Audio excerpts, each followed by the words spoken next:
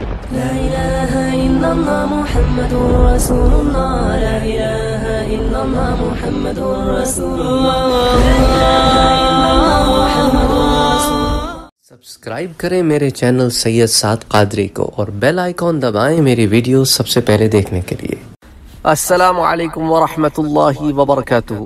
بہت سارے لوگ پوچھتے ہیں یہ آپ روحانی علوم میں جو کہتے ہیں یہ ابدال ہیں یہ غوث ہیں یہ قطب ہیں تو یہ سارا کچھ جو آپ بیان کرتے ہیں تو اس کے پیچھے یہ کہاں سے آئے سارے ٹائٹلز؟ میں نے کہا بھائی دیکھیں، آپ محدث، مفسر، امیر المومنین فی الحدیث، یہ تمام ٹائٹل عالم، مولوی صاحب، یہ سارے ٹائٹل کہاں سے آئے ہیں؟ وہ کہتے جی جیسے جیسے علم بڑھا تو ویسے اس کی تدریج ہوئی۔ اسی طرح میں کہتا ہوں اچھا حدیث میں آ جائیں، یہ درجہ صحیح کی روایت ہے، یہ منکر ہے، یہ موضوع ہے، یہ اس کا راوی مجہول ہے، یہ کہاں سے آئی چیزیں؟ کہتے جیسی جیسے جیسے حدیث کا علم بڑا تو تدریج ہوئی۔ میں نے کہا، جس طرح یہ ظاہری علوم کی تدریج ہے، وہ باطنی علوم کی تدریج ہے۔ جیسے جیسے باطنی علوم بڑھے ویسے ویسے اس کے اندر درجات مقرر ہوئے۔ تو جو ظاہری علم پہ درجات پر تم کلام نہیں کرتے، تو باطنی علوم کے درجات پر بھی کلام مت کرو۔ اچھا آؤ میں تمہیں احمد رضا خان بریلوی رحمت اللہ علیہ، امام اعلی حضرت، ملفوظات اعلی حضرت میں صفحہ نمبر 178 پر بہت ایک خوبصورت بات حضرت بیان کرتے ہیں کہ کسی نے غوث اور ان کے کش سے متعلق حضرت سے سوال کیا۔ تو آپ نے جواب دیا، بھائی دیکھو، ہر غوث کے دو وزیر ہوتے ہیں۔ غوث کا لقب تو ہوتا ہے عبداللہ اور جو دائیں طرف کا وزیر ہوتا ہے وہ ہوتا ہے عبد الرب اور جو بائیں طرف کا وزیر ہوتا ہے اس کا نام ہوتا ہے عبد الملک تو اللہ کے بندے ہیں سارے۔ اور جو بائیں طرف والا ہوتا ہے وہ سلطنت میں دائیں طرف والے سے اعلیٰ ہوتا ہے۔ باخلاف سلطنت دنیا دنیا میں دائیں طرف والا بائیں طرف سے اعلیٰ ہوتا ہے۔ لیکن روحانیت میں بایاں والا دائیں سے اعلیٰ ہوتا ہے۔ اس لیے کہ یہ سلطنت قلب ہے یعنی کہ دل کی سلطنت ہے، اور دل جو ہے وہ انسان کے بدن میں بائیں طرف ہوتا ہے۔ اس لیے بائیں جانب والا دائیں والے پر بھاری ہوتا ہے، اعلیٰ ہوتا ہے۔ اچھا اسی طرح امام صاحب فرماتے ہیں کہ غوث اکبر اور غوث ہر غوث، وہ تو حضور صلی اللہ علیہ وآلہ وسلم کی ذات پاک ہے۔ اور آپ ہی کا ارشاد ہے کہ اللہ نے مجھے دنیا میں دو وزیر عطا کیے اور ایک ابو بکر ہے اور ایک عمر ہے۔ تو حضرت فرماتے ہیں کہ صدیق اکبر حضور کے بائیں طرف کے وزیر تھے اور فاروق اعظم حضور کے دائیں طرف کے وزیر تھے۔ پھر امت میں سب سے پہلے درجہ غوثیت پر امیر المومنین حضرت ابو بکر صدیق رضی اللہ تعالی عنہ ممتاز ہوئے اور وزارت پر امیر المومنین فاروق اعظم اور عثمان غنی رضی اللہ تعالی عنہم یہ آئے۔ اس کے بعد امیر المومنین حضرت فاروق اعظم کو غوثیت مرحمت فرمائی گئی تو حضرت عثمان غنی اور مولا علی کرم اللہ وجہ وزیر ہوئے۔ پھر امیر المومنین حضرت عثمان غنی کو غوثیت عنایت ہوئی، تو مولا علی اور امام حسن وزیر ہوئے۔ پھر مولا علی کو غوثیت عطا ہوئی اور امامین، محترمین، حسنین، کریمین رضی اللہ تعالی عنہما، یہ دونوں وزیر ہوئے۔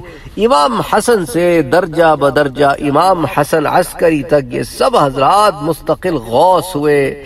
امام حسن عسکری کے بعد حضور غوث اعظم عبد القادر جیلانی رحمت اللہ علیہ تک جتنے حضرات ہوئے سب ان کے نائب ہوئے۔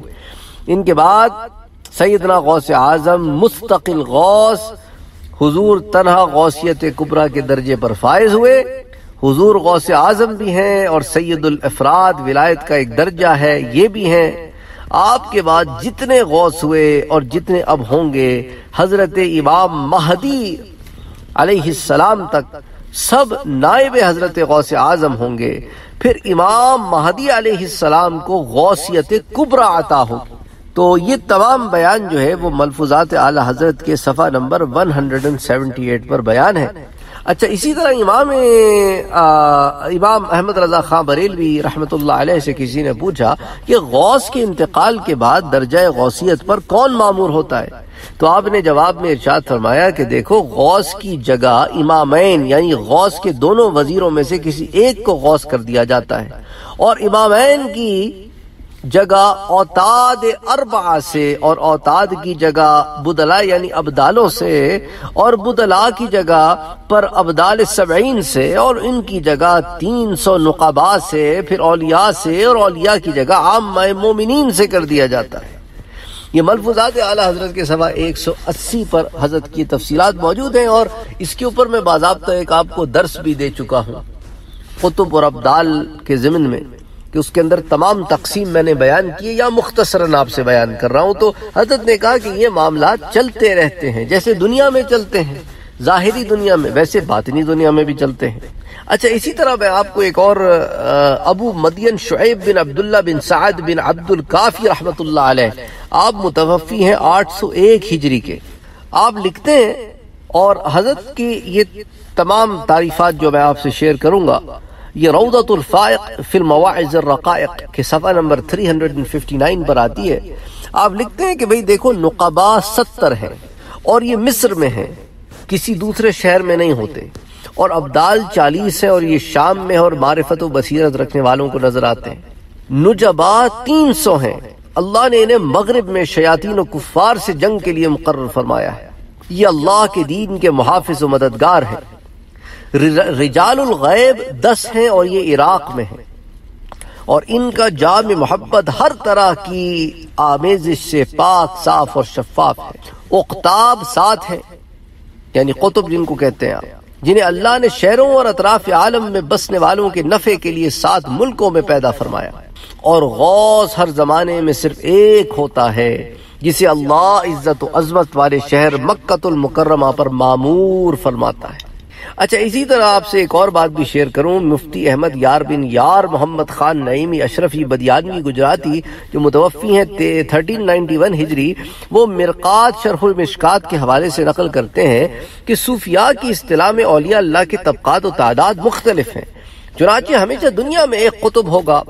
اور چار اوتاد اور چالیس یا ستر ابدال، تین سو یا پانچ سو نقیب، بعض کے نزدیک پانچ امنا یا نجبا بھی ہیں۔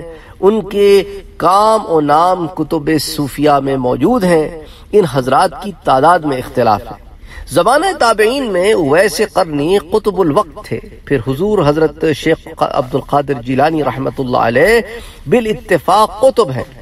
قوس اعظم، قطب عالم، غالباً ایک ہی ولی کا نام ہے، اللہ کے فیوز باطنی قطب عالم پر نازل ہوتے ہیں۔ پھر قطب عالم کی طرف سے عالم میں بقدر ظرف تقسیم ہوتے ہیں، چاروں سمتوں میں رہتے ہیں، مشرق، مغرب جنوب، شمال۔ یہ حضرات قطب سے فیض لے کر اپنے علاقے میں تقسیم کرتے ہیں۔ تو یہ تفصیلات مرات المناجیح شرح مشکات المصابیح کی جلد نمبر سات، صفحہ نمبر تین سو پر آتی اسی طرح غوث اعظم اور قطب الاقتاب ولایت کا اعلیٰ درجہ ہے اور اس درجے پر فائز ہونے والے ایک ہی ولی کے دو نام ہیں، قطب الاقتاب اور غوث اعظم۔ حضرت عبد القادر جیلانی رحمت اللہ علیہ کوئی غوث اعظم اور قطب الاقتاب کہا جاتا ہے۔ جیسا کہ اعلیٰ حضرت امام احمد رضا خان بریلوی متوفی تیرہ سو چالیس ہجری لکھتے ہیں کہ آپ رحمت اللہ علیہ تمام قطبوں کے قطب اور غوث اعظم ہیں۔ انہو قطب الاقتابی والغوث الاعظم۔ یہ نزہت الخاطر میں آتا ہے صفحہ نمبر نو اور دس پر۔ تو بہرحال آپ کے گوش گزار، پہلے میں نے اس کی کچھ اور تفصیلات کی تھی۔ آج حضرت عبد القادر جیلانی رحمت اللہ علیہ کے ضمن میں اس کی کچھ اور تفصیلات آپ کی گوش گزار کی ہیں۔ وہ لوگ جنہیں شغف ہے، اس علم سے، اس فن سے۔ ان کے لیے یہ انفارمیشن جو ہے، وہ بیسک انفارمیشن ہے، اس کو وہ جانتے ہیں۔ اور وہ لوگ جو نئے نئے ان علوم میں داخل ہو رہے ہیں۔ ان کے لیے یہ انفارمیشن جو ہے، یہ بہت ہی زیادہ اہم ہے۔ السلام علیکم ورحمۃ اللہ وبرکاتہ۔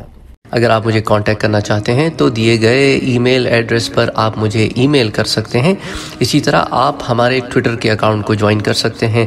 انسٹاگرام پر آپ ہمیں فالو کر سکتے ہیں۔ اور فیس بک پر بھی آپ ہمارے ایک سے زائد پیجز ہیں۔ ایک انگلش میں، ایک اردو میں انہیں فالو کر سکتے ہیں۔ تو اگر آپ کو کوئی سوال ہے تو آپ یوٹیوب پر بھی پوچھ سکتے ہیں۔ اور ان اور مختلف پلیٹ فارم اگر آپ نے ابھی تک ہمارے چینل کو سبسکرائب نہیں کیا ہے تو سبسکرائب کا بٹن دبائیں، بیل کے آئیکاؤن کو پریس کریں تاکہ آپ کو ریگولر نوٹیفیکیشن اپڈیٹ مل سکے اور آپ ہمیں ہمارے لائیو سیشنز میں بھی جوائن کر سکیں۔ ویڈیو پسند آنے کی صورت میں لائک شیئر اور کمنٹ کرنا نہ بھولیں۔